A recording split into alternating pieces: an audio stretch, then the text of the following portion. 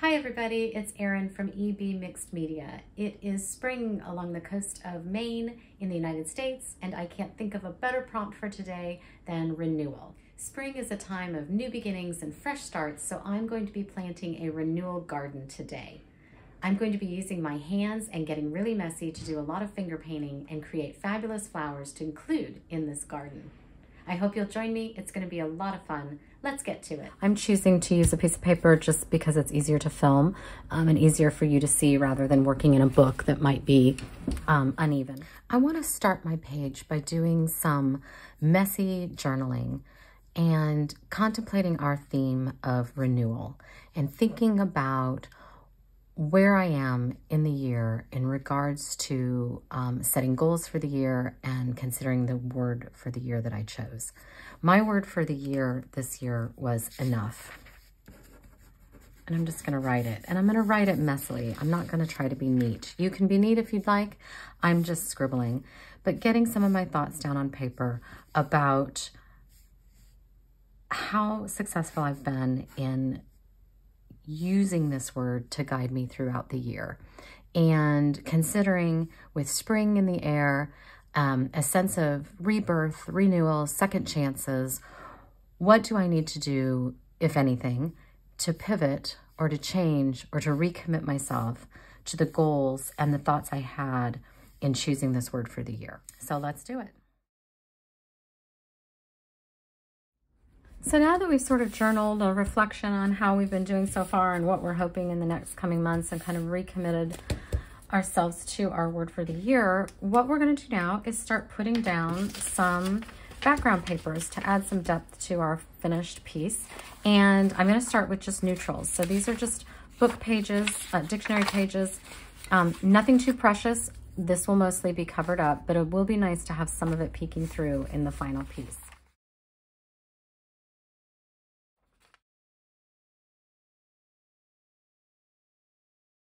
Now that we have our background papers, our neutral background papers down, I want to go ahead and get some colorful painted papers.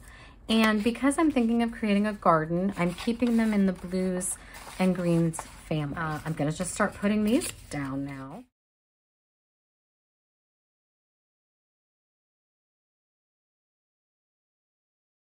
Everything's glued down now, and we're gonna do some finger painting. And I think it's really fun to get hands-on, to blend with your fingers. You get really nice, swirly, dreamy results. Some people don't like it, and it can be very messy. And so while I'd love for you to take a stab at it, um, if you're completely opposed to painting with your fingers, you can always put on some latex gloves. Uh, and then you don't have the mess all over your hands or you could use a brush if you wanted to use a brush.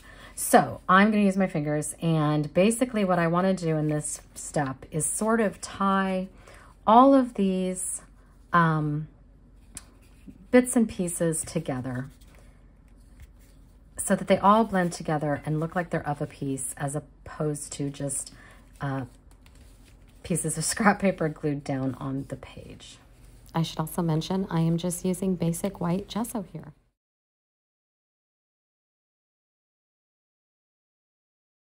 So we're going to continue like we did with the gesso, and we're going to just be adding some color into our page. Here I'm using Key West from Apple Barrel Craft Paints and light olive green from Amsterdam. So what I want to do here is just take a bit of each color and I'm going to fill in just a little bit here and there. And this is going to give the illusion of flowers in our garden. I'm using Peachy Pink, Golden Sunset, and Pink Eraser from Apple Barrel Paints. I'm going to now take my Gelly Roll pen in black and I'm going to start identifying some floral shapes. Now, you don't want to get really detailed in this or stress out over making these flowers look realistic. This is going to be in the background and not really appear. So um, you're just looking for sort of the, the idea of a floral. So I can see one here. I can see that. And the nice thing about it is using your fingers, you're getting swirls on the page that look uh, like petals. Here's another one here.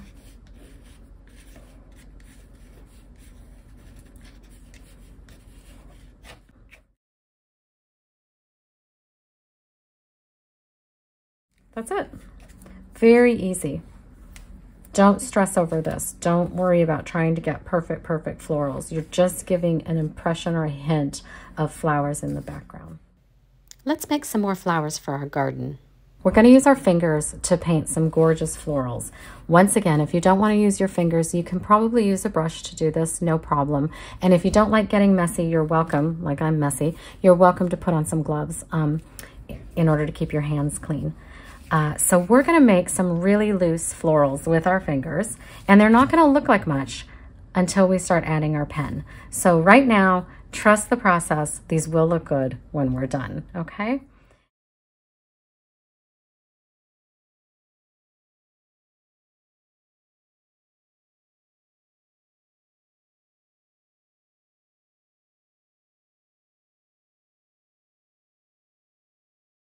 For this one,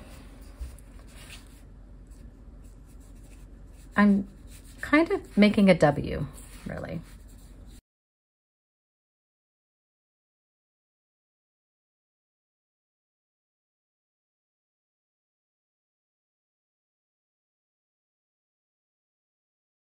Let's make some cone flowers. These are some of my favorite.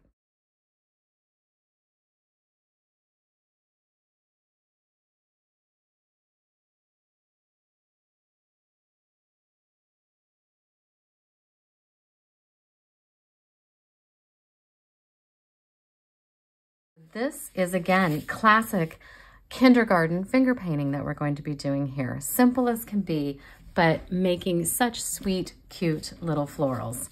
Let's start with our pink, and we are literally going to make fingerprints. So we're just gonna make a little circle with our fingerprints.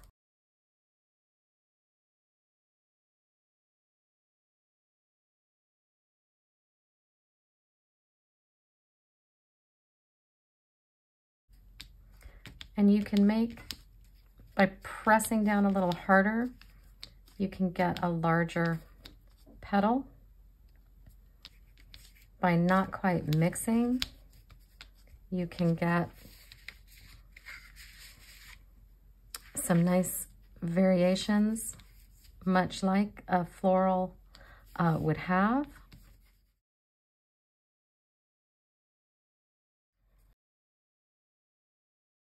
So I have my black Gelly Roll pen again.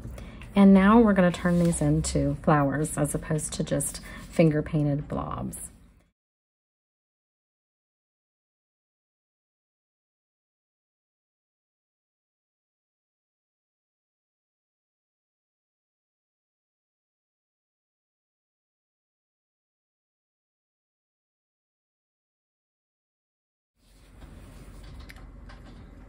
I find the more loose your hand is, the less you try to make it perfect, the better.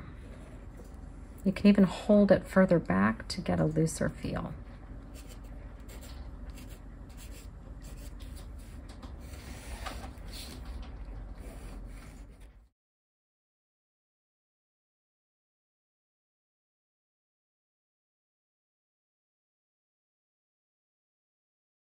Let's work on these.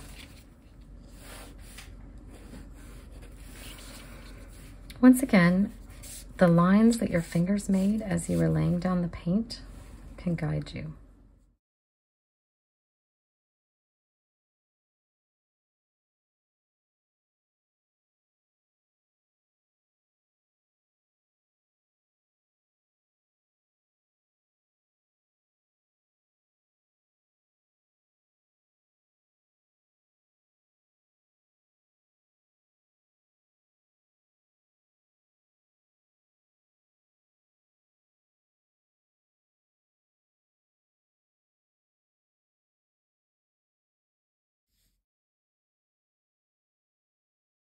Minute to look at all the fabulous florals we've created.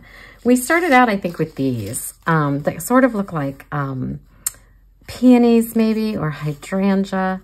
all the color variation. These are our cone flowers, black-eyed Susans. We have our W's that we made, right? Lots of variation in color on these. These I added the little, um, I don't know what those are called in the center of a flower like that. Adds a little whimsy, almost looks like a poppy. And then we have our tiny little posies that are so sweet. So now we're gonna take all of this great stuff that we've created, these wonderful florals, and we're gonna build our garden and recommit ourselves to our um, goals and aspirations for the year with our garden of renewal. So here's what we created earlier.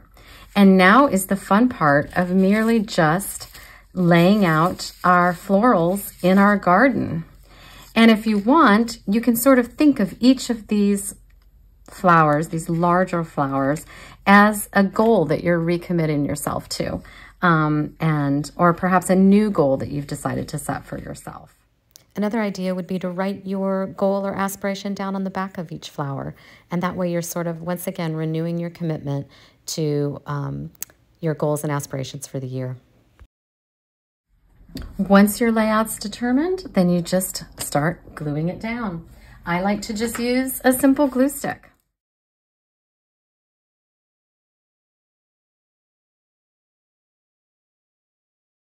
So we've just a couple more steps to finish off our garden.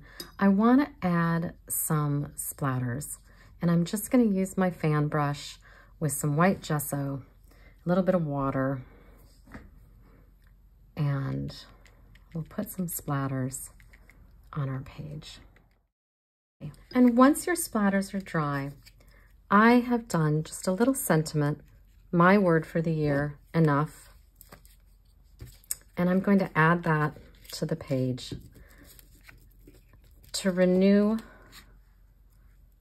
my commitment to this word and to the goals I've set out for myself for the year. That does it for us. I hope you enjoyed um, my lesson as part of Messy May. Um, I was so happy to be here with you and so thankful to Get Messy for reaching out to me to provide this um, inspiration for you.